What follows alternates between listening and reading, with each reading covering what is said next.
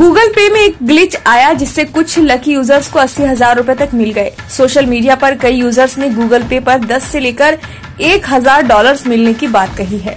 Google पे app में दिए जा रहे भारी भरकम रिवॉर्ड पर एलन मस्क की भी नज़र गई। ट्विटर पर एलन मस्क ने भी गूगल पे की न्यूज़ रिपोर्ट पर रिप्लाई किया और नाइस लिखा। माइक्रो ब्लॉगिंग वेबसाइट पर एक यूज़र ने अपना एक्सपीरियंस शेयर किया। उन्होंने स्क्रीनशॉट डालकर लिखा कि गूगल की तरफ़ से उन्हें लगभग तीन हज़ार सात सौ सत्तर रूपए का रिवॉर्ड मिला है। उन्होंने कहा है कि गूगल पे ओपन करके डील्स टैब में जाना है।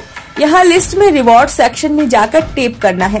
हालाँकि ये सिर्फ़ उनके साथ ही नहीं हुआ, बल्कि रेडिट पर भी कई यूज़र्स ने गूगल पे पर भारी रिवॉर्ड मिलने की बात कही है और स्क्रीनशॉट्स भी शेयर किए हैं। इसी तरह एक यूज़र ने पोस्ट किया है कि उसे गूगल पे की तरफ़ से लगभग सतासी हज़ार आठ सौ पैंसठ रूपए का रिवॉर्ड मिला है।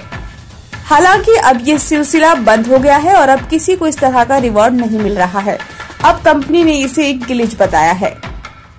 रहमान नाम के ट्विटर यूज़र ने एक ईमेल का स्क्रीनशॉट शेयर किया है। इसमें कहा है, आपको ये ईमेल इसलिए भेजा जा रहा है क्योंकि आपकी गूगल पे अकाउंट में गलती से कैश डिपॉजिट हो गया है।